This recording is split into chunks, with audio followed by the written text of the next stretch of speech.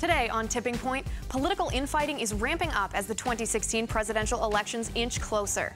Then, Vladimir Putin claims Turkey is profiting from ISIS smuggling oil into their country over the Syrian border. Next, Hamas leaders are spewing hatred towards Israel once again.